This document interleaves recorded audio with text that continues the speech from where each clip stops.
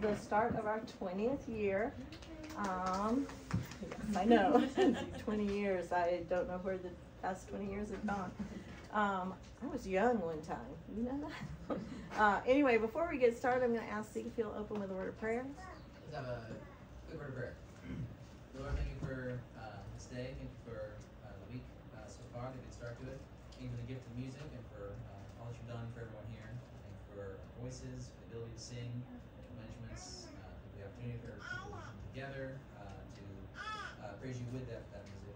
For everyone to have a great time tonight to get all the questions that they have answered. Okay. Um, I want to start with uh, our our Bible verses. Um, basically, I use Psalm 150. Praise the Lord. Praise God in His sanctuary. Praise Him in His mighty heavens. Praise Him for His acts of power. Praise Him for His surpassing greatness. Praise Him with the sounding of the trumpet. Praise Him with the harp and the lyre. Praise Him with timbrel and dancing. Praise Him with strings and pipe. Praise Him with a clash of cymbals. Praise Him with resounding cymbals. Let everything that has breath praise the Lord. Um, that's kind of where this all started from was a ministry um, to provide specifically for homeschool school children, um, but also children that are in you know hybrids, public school, private school. Many private schools cannot really they can't really have a big music program or even much of one. I was teaching at a private school at the time, and my best friend was teaching at another private school at the time we started this. Both of us had a band, and both of us had a choir. I think her choir had six people. It's not a choir, just saying. I think mine might have had 10. Um, and then the band, if we had 14 people, we really felt like we're growing. This is great. That's about as big as it got. And that's really not playing in a band or playing in an orchestra either. So we were looking for a way for the kids to have a, a more complete music experience. Um, so one year we picked the same music. I picked it for my school and she picked it for her school. And then we had our concert on the same night in the same place. and we put our groups together and we just, we looked at each other that night and just thought, we, we're on to something. This is great. So the very next fall, we started CFAF. And we sent out letters to the local um, private schools and homeschools. And at that time, we actually got a lot of public school kids because that was the year that Forsyth County stopped their string program in the schools. And so we had all these string players that had nowhere to play. Um, and so they came as well. Um, so that's why it's usually mostly after school hours, but we are primarily, I would say, what would you guess, 90% or more are homeschoolers. So it's a very big homeschool um, community here. We're a little bit more than just a music school. We didn't actually start it out that way, but we found that so many parents walked in the door with their children and had so much in common with the other parents that walked in the door with their children. Um, homeschool parents are a little bit different. They have different values and a different focus. Um, most of them are making it on one income so that they can homeschool their children.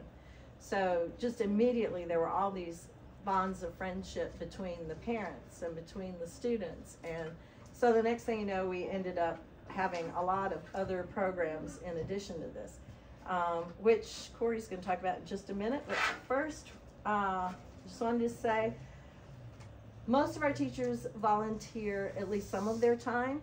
Some of them volunteer all of their time, and so they're not paid. They, but they are really high level um, teachers. Um, even the ones that are getting paid a weekly uh, amount are spending an awful lot of time preparing uh, for class and, and not getting paid for any of that. So there's a, and they volunteer to come and help clean and they volunteer to help organize. So they are always coming in and just going above and beyond. Your tuition, we try to keep it as low as we possibly can, um, but it basically adds up to enough to cover the rent on this building. Um, and then we fundraise to help cover costs of new music, the utilities, equipment that we buy, Um, you know, there are just things you just have to have when you have all of these music classes. And so we do we do need money for that. Um, and then we have the recital and concert fees that you will be paying. Um, and those cover the cost of the venues because we this is not large enough to have the concert here. So yes, we have some noisy little students. That's actually my granddaughter, so making a little extra noise.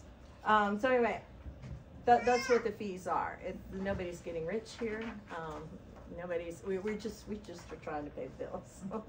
um, and so uh, Diane Stevens, which many of you have probably heard from in email already, is going to talk about fundraising, communication, and volunteering.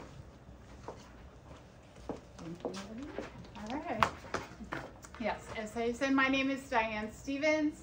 I started volunteering at CFAF in 2012 when my daughters started attending here. And um, my daughters are Jessica and Jenna. They grew up in CFAF and graduated from CFAF. They taught a few classes here while they were in college. Now they've moved on to full-time careers, but they love, love, loved their time at CFAF. It became a second family to us. As Hetty mentioned, we had bonds with the other families, the parents, the kids. Um, friendships will treasure forever. So if you're new here, welcome. And I think you will really enjoy it and be able to um, make some good friends here. All right, um, volunteering. So um, as Hetty mentioned, we don't have a very large budget. So we do rely heavily on parent volunteers. Um, when you register, it'll give you a list of possible options. Um, the main thing that we need is help cleaning the building.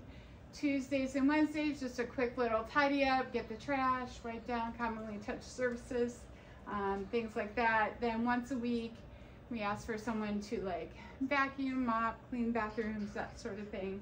And I'll be sending out a schedule um, to sign up for that. Um, we also need help scanning in the music, um, and that is something that you can kind of do on your own time, um, and I can go over exactly how to do that. That's pretty easy. Um, and taking attendance. Um, the teachers are pretty busy, so if we can have parents take attendance for the teachers, that's helpful.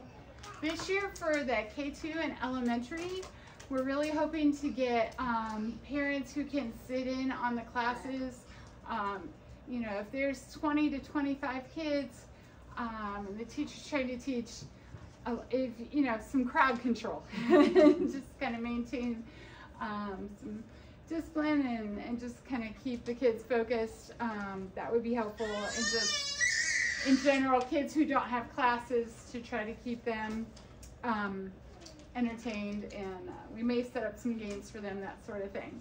So um, backstage help when we do have a performance, uh, especially for the littles, it's really helpful to have some parents backstage. Um, it's kind of like herding cats to get them all lined up. And if we can keep them rolling, it keeps the performance going faster. And we'll make sure you definitely get to see your own kids perform. Um, but that's also helpful. Um, like Hetty mentioned, we're more than a music school and we want to promote friendships so we like to have socials and parents who can plan and chaperone socials. Um, that's super helpful. We usually just have those at the building here and um, have some dancing and um, maybe video games or something fun like that. And chaperoning events, we have a lot of dances, um, so we can always use help um, with chaperones for that. And Perhaps you have an area um, or a skill that could help CFAF, um, maybe website design or printing or anything at all. Like if you have a business or a special skill you think would help us, we would definitely be open to hearing um, of what you might be able to do for us. Uh, I am the communication person. You'll probably get tired of hearing from me. Uh, the best way to communicate is through text reminds. You should have gotten a little handout how to join reminds. You can get those by email if you don't want text. Um, but um, sometimes we have to cancel classes last minute inclement weather, storm rolls in. Um, Sometimes we've had plumbing issues at the building. I don't know. Anything and everything can come up at the last minute. So text is the best way um, to stay up to date. Um, so I would highly encourage you to join the Remind app to stay up to date. And then we also send out emails. If you're not getting the CFAF emails, um, you can message me, send me an email at cfafstudios at gmail.com and I'll add you to the email list. We have two Facebook groups, one private, one public. If you want to join the private Facebook group, um, just search for the group Christian Fine Arts of Forsyth and request to join. You'll get approved and then um, you can look at the events on the Facebook group, either the private or the public. I try to always post events so you know what's happening. And um, we also have an Instagram, which if you just go on Instagram, Christian underscore fine in, underscore arts, and you can follow follow us that way. And CFAF dances is also on Instagram and, and, and Facebook. Facebook. So if you want to know about our dances, you can find out that way. Uh, payment options. You can pay your tuition in full at the beginning of the semester, or you can spread it out over three months. There's no extra charge to do that. Um, and then the first payment is due the first day of class, and then the first of the following months. And you can pay that in cash or check. Um, check can be payable to CFAF, and you put that in the tuition box. They'll be in the front lobby. If you pay by cash, please put it, there's envelopes up there. Please put an envelope with your name so I know that it's from you. Um, you can also pay by Zelle to um, cfafstudios at gmail.com. And you can also pay by PayPal, um, cfafstudios at gmail. PayPal has started charging us 3%, so if you could just add 3% to your payment to help cover that fee, that would be super helpful to us. Um, fundraising. We don't have anything specific planned right now and would be very open to any ideas. In the past, we've sold candy bars, greeting cards, Chick fil A calendars. We had a kindness fundraiser, which was awesome, and the kids did kind deeds for others, and that was really, really great.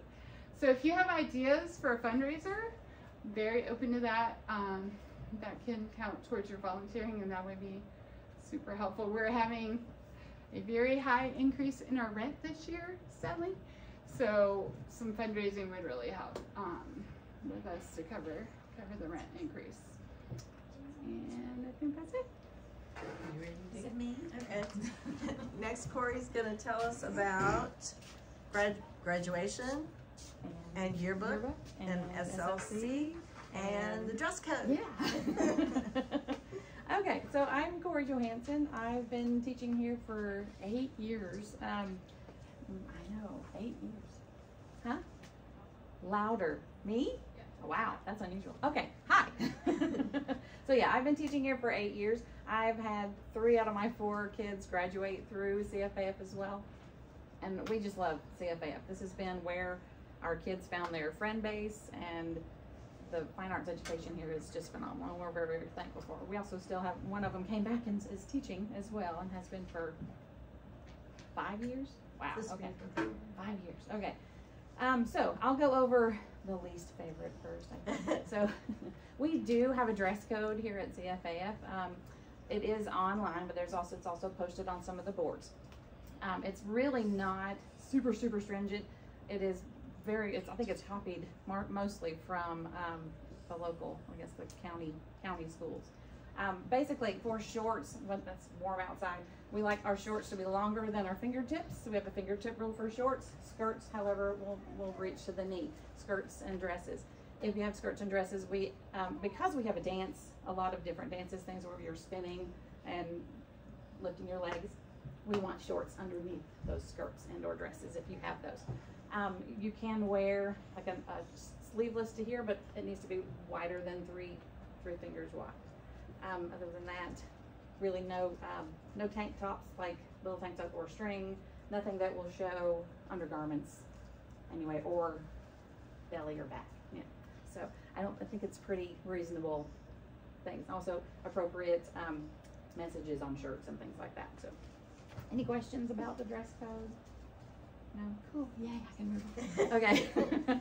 um, so I also um, help lead each year the yearbook. We do have a yearbook for our school. Um, in the fall, I think it's October 12th, we have our um, yearbook photos where your student can come and get a photo. Um, and it's he, the man that does it's Ken Rada Photography does a phenomenal job.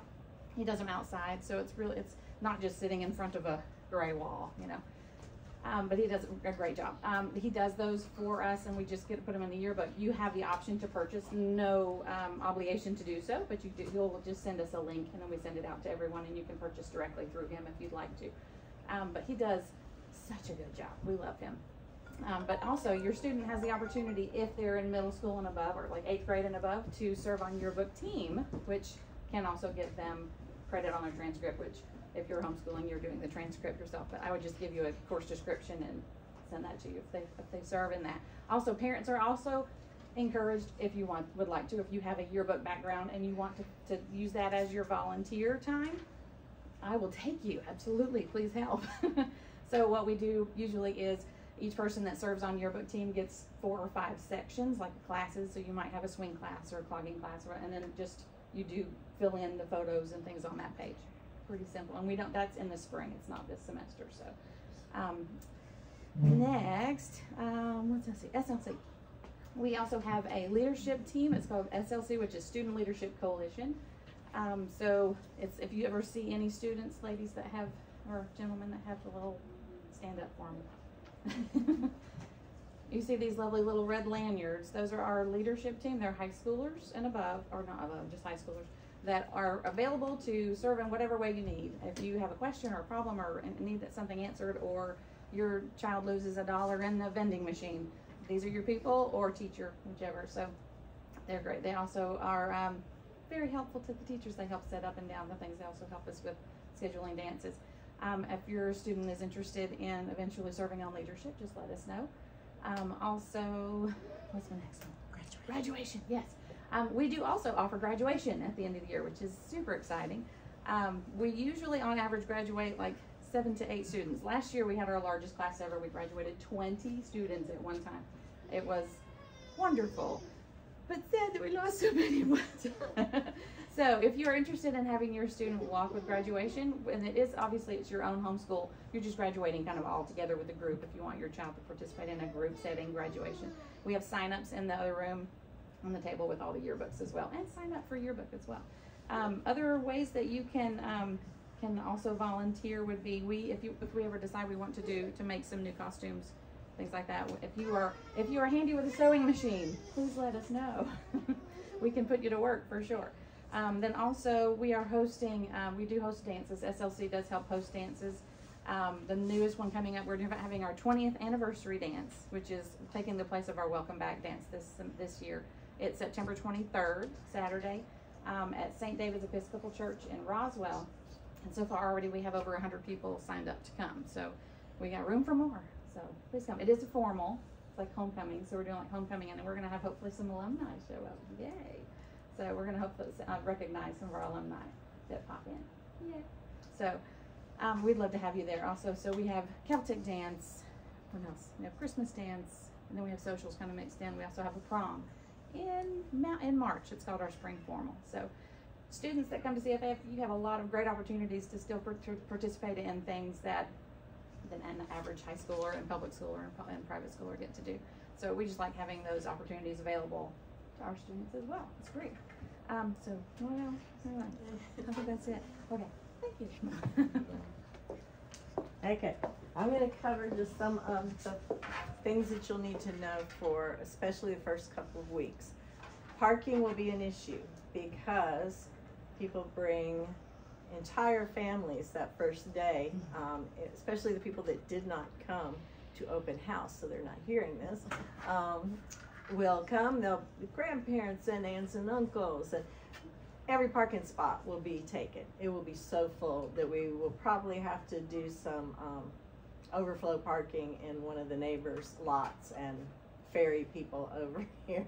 Um, so just know that it's going to be crowded. The first after the first couple of weeks, it sort of settles down, but the first couple of weeks, it, it will be it will be crowded. Um, so let's see. With the parking, we have to leave um, because we share this building. um, we have to leave four spaces uh, for the guy on this side and four spaces for the guy on this side. So don't park in their spaces; they will come and get you and um, disrupt all of our classes and everything. So make sure that they have spaces for their people to park. There is extra parking in the back, and there is a back door so that you can get in that way. Um, and right now that's kind of tight too, but I think they've gotten rid of some of their trucks. So we, we may be, if you look hard, you can find a place to park. Ah, it's, it's always kind of scary. Um, let's see.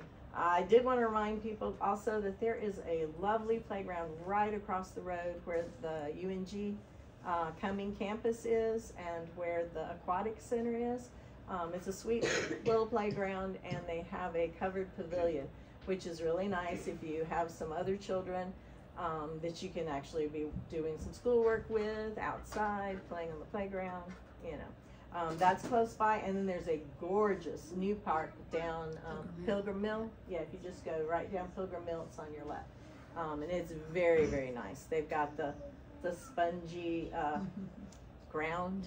Yes. I just don't know how they do that. It's like, but it's it's a really nice playground. So there's some places you can go that are really close by, um, if you want to do that. Let's see, what else do we have? Um, let's see. Uh, one of the basic things with like our code of conduct is, I mean, we, we're just asking for people to be considerate of the building. It's not ours, and but we have to pay for everything that happens on the inside. So if your child writes something ugly on the wall, actually writes anything on the wall, and we have to paint it, you know, we're having to do the work and we're having to buy the paint. So just treat everything well. Yes, is that me? No, it's me. Mine is going off like crazy. I don't know what's wrong with it. Um, and then treat the teachers well, treat the other students well, be kind, you know, think of being kind to everybody. Um, and that's our basic code of conduct is just treating everything with respect and everyone with respect and kindness. Um, we talked about the dress code. Oh, I do want to introduce our teachers. A lot of them are here tonight. Um, I'll start with me. I'm Hetty Farley, and I teach the CFAF Singers. That's our high school chorus group. I teach the symphonic orchestra. I teach the Suzuki strings, elementary strings, and very possibly beginning band. We're still talking about that, so trying to figure that out. Um, is Zeke in this room? Zeke. He's somewhere here.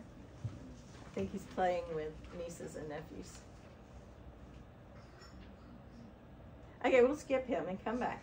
Um, we have Jim Canone, and Jim is wonderful. He teaches our musical theater class, our middle school chorus, our intermediate band, and when we have it, he also teaches men's choir, which we don't have this semester, and we'll have to see about next semester. But, uh, that's Jim. We have Alex and Sammy Hamilton. They're not here tonight. Oh, Alex is back there? Oh, hiding. That's Alex. Alex is one of our graduates um, and is here teaching, which is pretty cool. And so is Sammy, her twin sister. So you may see Sammy and Alex um, here. Okay, we also have, they teach, let's see, class guitar, elementary ballet, K2 ballet, middle school ballet, swing kids ukulele class, elementary chorus, and middle school Celtic. Is that correct? Okay, we have Corey Johansson that you've already met, and she teaches all of our clogging classes, middle school, high school, and elite clogging. And adult clogging, but that's kind of a different thing. Okay, we have Abby Johansson, one of our graduates. And Abby's going to be teaching high school swing, class piano, beginning strings, and possibly some more. We're still discussing all of that.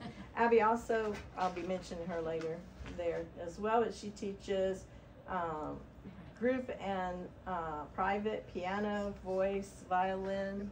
Is that correct? Ukulele. Okay. All right, and, and we have um, Zeke. He's gonna come out. This is Zeke Farley. He teaches fire choir, which is an audition group, the high school Celtic for now, though that's questionable.